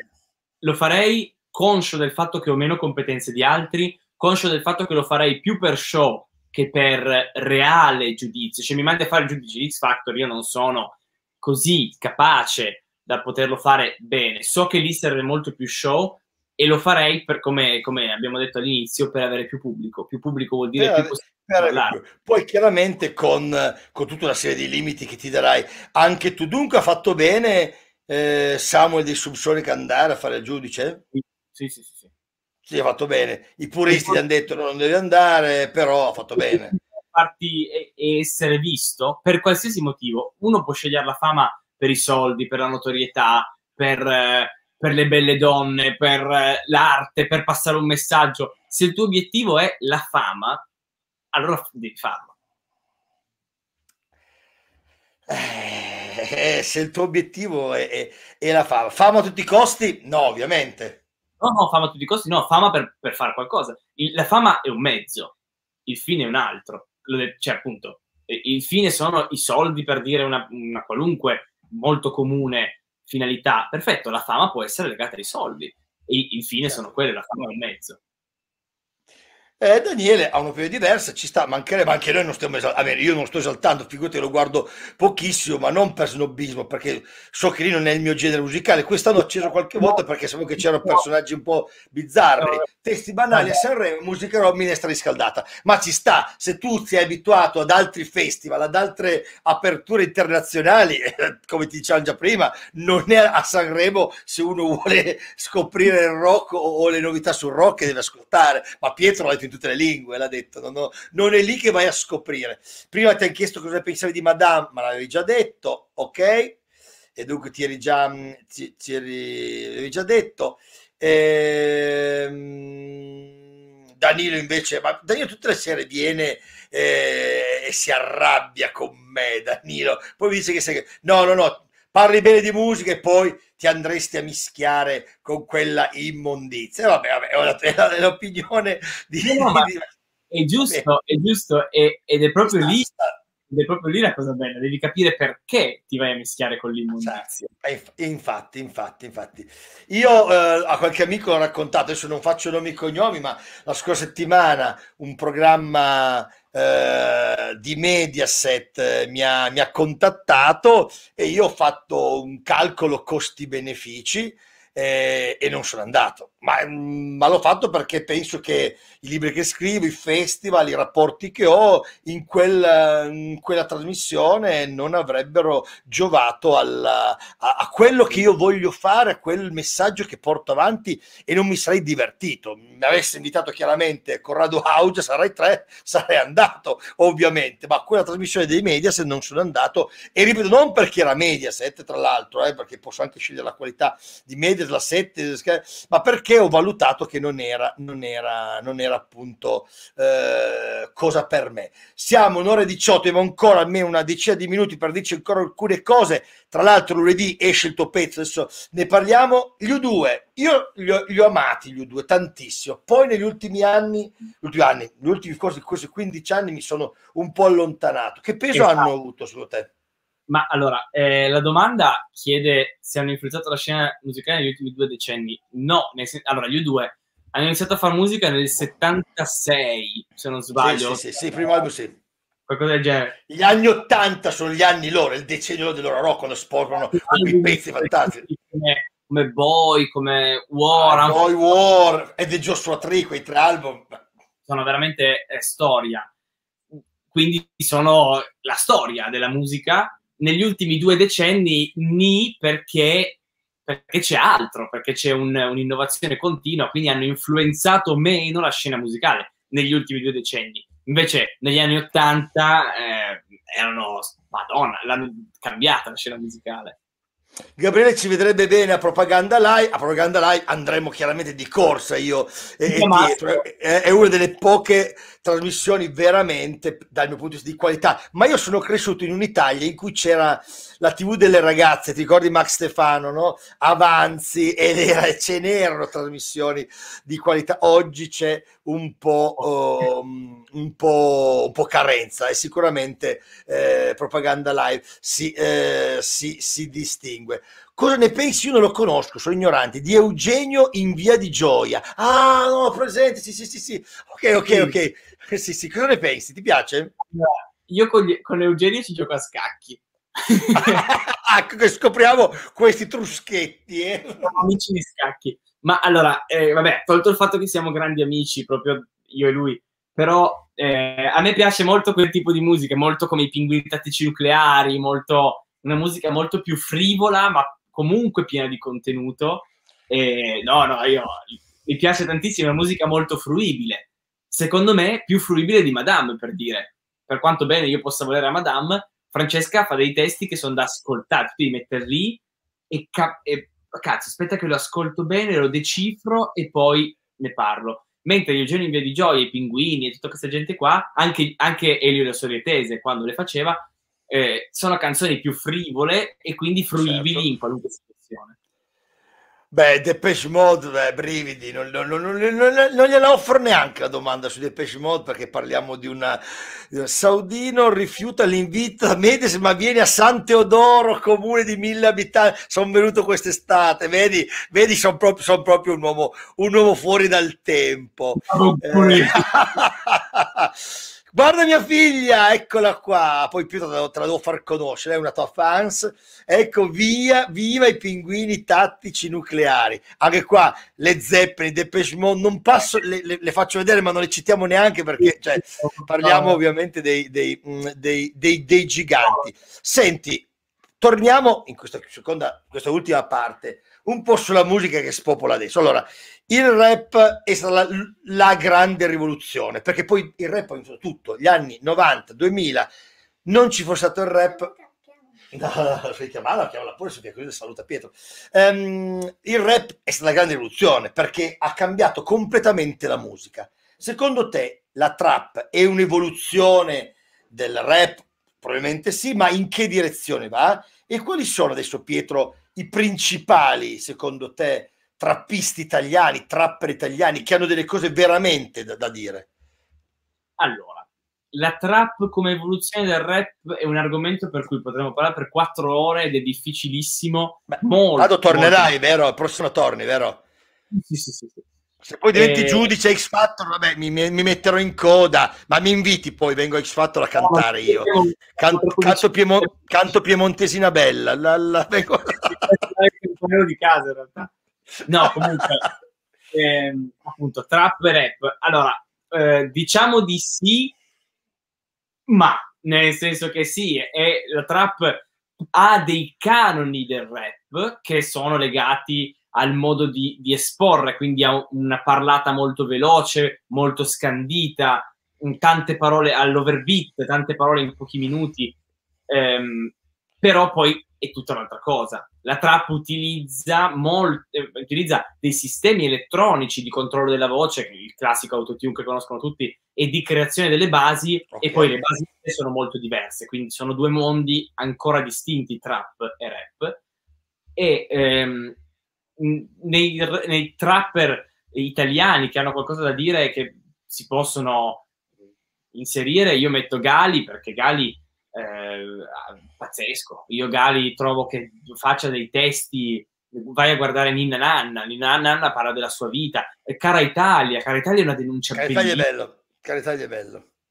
Ehm, io con Sfera ho un rapporto di amore e odio perché eh, trovo che nei suoi testi ci sia una sbagliatissima esaltazione della sfera del denaro, della sfera del, della sessualità in modo cioè, quasi dominante. La, la, la, la, ragazza viene spesso ridotta a bitch, che io trovo molto sbagliato. Mamma mia, mi incavo, io mi incavo. Anche se poi ho scoperto che molte ragazze si autochiamano bitch in quel modo. Ehi, hey, bitch, ci vediamo. Molto, cioè, sì, eh. È molto americano come cosa, è una, una derivazione molto americana e a me non piace, non, cioè proprio non, eh, io trovo che i valori del femminismo siano stati troppo combattuti per essere distrutti in questo modo con una parola.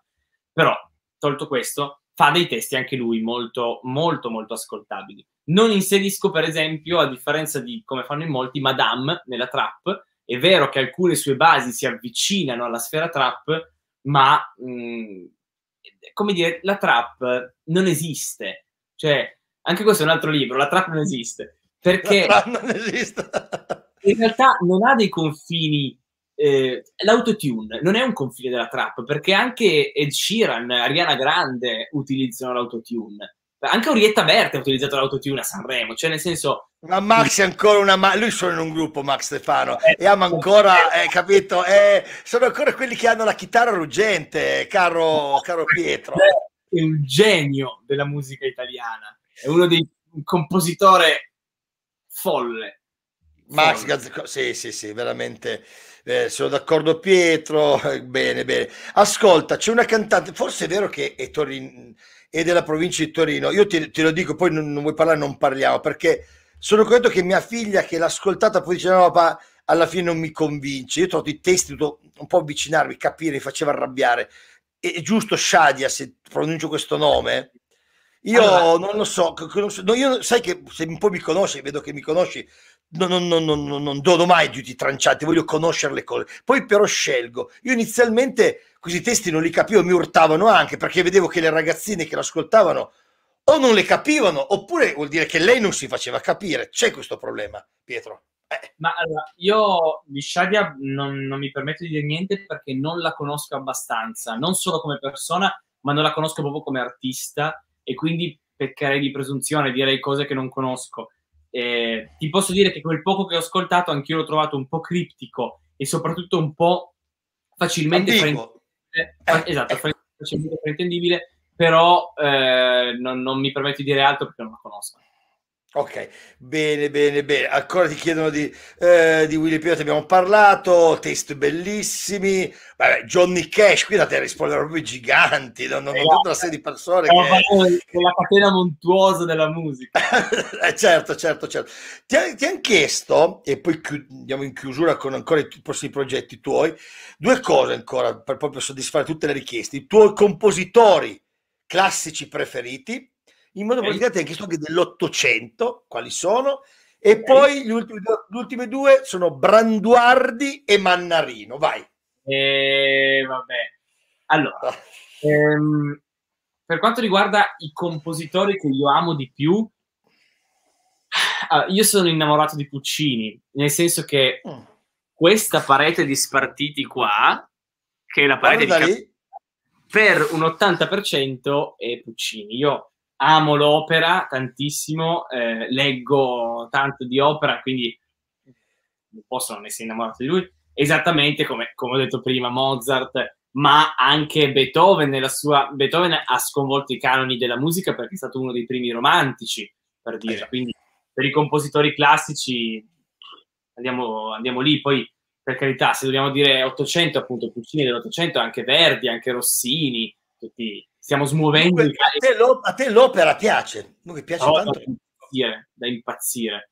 Ma perché... Eh, ma quanti Beh, ragazzi della tua età amano l'opera? Siamo sinceri. Allora, aspetta, aspetta, occhio. A me piace l'opera nel senso che adoro i testi dell'opera. Mi fa cagare l'opera come è esposta, cioè... Ah. È un po'... Allora, hai già il quarto, il quarto libro, già, mi fa cagare l'opera. E esatto. qua in Italia quindi vieni preso a, a sassate. Allora, te la dico vai, vai. Cosa, vuoi di, cosa vuoi dire? Vai, vai, vai. È un po' come la messa, nel senso che io sto parlando da non cattolico, quindi non fraintendete quello che dico. Io penso che i valori del Vangelo siano bellissimi, quelli veri, eh, non quelli contro eh, certo. quelli, i veri valori del Vangelo siano bellissimi, ma sono esposti con il me con queste messe lunghissime di, di, due ore in cui una ritualità che secondo me va proprio a stancare. L'opera è la stessa cosa. L'opera io la trovo meravigliosa, sono innamorato delle musiche, delle composizioni, dei testi e delle trame. Io ho parlato di opera in alcuni articoli, nel senso che raccont- non, non mi permetterei mai di parlare di opera, ma ho riassunto le trame delle più grandi opere in modo che siano fruibili da tutti, no? Ehm, quindi, eh, che ne so, la Turandot di, di, Puccini, riassunta perché è una trama spettacolare che però nessuno conosce perché per conoscerla devi andare a fare quattro ore in teatro che sono proprio pesanti, tanto pesanti. Quindi amo l'opera per questo motivo qua, amo le trame dell'opera. Ami le trame, sì, effettivamente parliamo di scrittori eh, geniali, eh, ge- ge- geniali. No? L'opera del... Cioè, la mia compagna aveva fatto l'acrobata all'era di Verona per eh, la... Mh, Barbiere di Siviglia, allora ho preso in mano anche un po' il testo, ma di cosa parliamo? Parliamo di chiaramente trame, trame, trame, trame strepitose. E Mannarino e Branduardi? Cose molto diverse ti chiedono. Eh. Esatto, c'è Branduardi e Mannarino. Certo, allora, certo, Man- certo. Mannarino sono innamorato follemente di quel romano, cioè io lo trovo bravissimo, ha dei testi d'amore, molto più d'amore di altri. Lo trovo, se posso, se posso permettermi di smuovere un gigante, molto affine di André con una musica diversa, cioè che tira fuori delle, delle metafore, delle, delle, poesie che tu ti, ti, dici, ma come ti è venuta una roba del genere? Manarino, bravissimo, mi piace un sacco. Eh, Branduardi, io ho un rapporto molto lontano, nel senso che lo conosco, l'ho ascoltato, ma è stato meno nella mia infanzia e quindi ce l'ho meno nelle orecchie. Sì, sì, sì eh, a volte mh, mm, chiaramente ha, ha, dei pezzi stracoinvolgenti, un personaggio importante, a volte è un po' lontano, un po', un po pesante per questi, per questi, aspetti. Guarda, ti dico, tu ti ringrazio, ho toccato anche più di 200 persone, le domande nella chat sono, sono tantissime, eh, Guccini ha già detto che è nel suo panteo, Wagner, Bolla, ne tornerà, tornerà, me l'ha promesso qua in autunno, nelle nuove di prossimo anno, nuova stagione del Barba Simposio, Piero tornerà Lunedì cosa accade? Cosa esce? Lunedì, Pietro? Lunedì esce, esce Mezzaria. Esce, adesso, non so se lunedì in particolare esce il 14 a mezzanotte. Dimmi tu se è lunedì o no. Il 14 a mezzanotte, se oggi è... Sì, è lunedì, certamente, certamente. Esce Mezzaria, che è questo pezzo, questo brano, pianoforte e violoncello, che presto sarà orchestra. E, ehm, tra l'altro il videoclip... Domenica! Mezza, 14 e domenica, la mezzanotte di domenica, lunedì a luna, ok? Va bene? Come si intitola Mezzaria? Mezzaria. Andremo a registrare il videoclip in cima al Monte Bianco con un pianoforte, cioè stiamo proprio facendo di tutto. E, ehm, è, un pianoforte, è un brano pianoforte e violoncello che racconta la rinascita, eh, per me, la rinascita da un me adolescente al me che ama i bambini, e per la violoncellista la rinascita da una malattia, da un'anoressia molto pesante che l'ha portata poi a rinascere con la musica. E, ed è strumentale? Strumentale, piano violoncello. Piano violoncello. Tu al pianoforte, al violoncello chi c'è? Anna Salmi, che è questa ragazza appunto che ha ah, composto con Melda. Che ha composto e dunque la, per capire, mi include questo, siccome c'è questa storia che, che è strumentale, come fa uno ascoltatore a conoscerla questa storia? Non deve. Non deve, non deve, bellissima sta cosa. È musica mh, eh, completamente priva di testo, che tu ti metti le cuffie e proietti quello che tu senti lì dentro e poi me lo racconti. Ed è lì che si arricchisce la musica, si arricchisce di tutte quelle persone che ci vedono. Io vedo una cosa diversa da Hannes e l'abbiamo composta bello, insieme. Bello, bellissimo. Questo è proprio co- co- l'arte come come la intendiamo più che mai oggi, l'arte più che mai l'interpretazione, come tu la vivi e come tu la, la, la, la fai tua, questa. E dunque da, da, lunedì di fatto su Spotify, su tutte le piattaforme? Apple Music, iTunes, dappertutto. Amazon. Da, da, da, dappertutto, bene, bene. Questo musicalmente. Altri progetti invece? Guarda, riguardo la musicoterapia, io ricordo esatto. tutti che Schopenhauer è uno dei primi, eh, Schopenhauer e Freud sono tra i primi, andando indietro già Aristotele parlava di arte terapia con la tragedia o con comunque il teatro, ma Schopenhauer è proprio uno dei primi filosofi che dice a un certo punto la musica no, ti annulla quel malessere no, del desiderio, quelle frustrazioni. Dunque la, la musicoterapia ha dei padri nobili. Per in quel campo che cosa, che cosa mh, c'è guarda, in pentola? Cosa bolle in pentola? Un guardo gigantesco, gigante di cui sono fiero nell'anima, proprio, ovvero ho messo un pianoforte a Regina Margherita e proprio donato, cioè è, è entrato un nuovo strumento e, e, i traguardi saranno sempre quelli. Per me il traguardo massimo e essere sempre più conosciuto per parlare a sempre più persone della musica, della musicoterapia, dei bambini, del volontariato, proprio con l'obiettivo di, di dirlo a più persone e quindi magari di mettere un pianoforte in ogni ospedale d'Italia, che ne so, cioè, è sempre quello di, di fare un po' di più il giorno, il giorno prima. Bene, mi sembrano cose bellissime. Allora, l'obiettivo realizzato in parte è questo, perché la mia amica Viviana dice complimenti Pietro, perché non ti conoscevo perché non frequento TikTok, una bella sorpresa, grande cultura musicale, un bel modo di porsi, bravo. E anche questa sera il Barba Simposio realizza i suoi obiettivi. Pietro, veramente ti mando un abbraccio anche per me. Eh, nei mesi scorsi, quando ci siamo incontrati, è stato un, uh, una bella scoperta. La tua che cresce su TikTok dimostra che comunque si può fare eh, nei social cultura, poi è quella con la C maiuscola, minuscola, a me importa poco, Pietro, quando mi dicono ma è giusto no, è portare la filosofia su YouTube, per me è giusto, io la vivo così e vedo che tantissimo stanno facendo, eh, un po' l'apripista sono stato, tu sicuramente stai aprendo tante strade, eh, ci rivedremo, vero Pietro? Assolutamente, poi noi siamo di Torino, io direi che diciamo, noi butto già lì un caffè insieme, per un tè insieme. Uno, uno, ci vediamo, prendiamo un caffè insieme e chi lo sa che in questo poi mondo che si riaprirà o quando presento un libro io, quando tu prendi qualcosa ad un festival o una qualunque posto libreria che ci ospita, facciamo dal vivo un qualcosa e riempiremo le sale, va bene Pietro? Cambiamo il mondo. Ciao Pietro, rimani con il backstage per salutarti un attimo. Grazie mille, tantissimi ti saluto e tutto. Allora, ragazzo bravo, sensibile, certamente. Nancy, prossimo anno mi rinviti in Sicilia, Nancy, che io, io vengo ben volentieri. Cari amiche e cari amici, si chiude un'altra puntata del Barba Simposio per giovedì prossimo. Ho due uh, ancora ospiti in ballo hanno degli impegni cerchiamo di capire come incastrare. Ciao Enzino ciao Alessandro ciao Gregori alla prossima. Vi ricordo vi ricordo da domani su TP ehm, Erasmo da Rotterdam, eh, lo, dunque l'elogio della follia di Erasmo da Rotterdam, poi, poi, poi, poi il campus del cambiamento e domani dovrebbe anche uscire una nuova lezione del, delle cose dell'amore di Galimberti. Vi abbraccio, buonanotte, ciao Max, ciao a tutti, ci vediamo, ciao Frederick Nietzsche, notte campione, grazie a te, a presto, buona, buonanotte.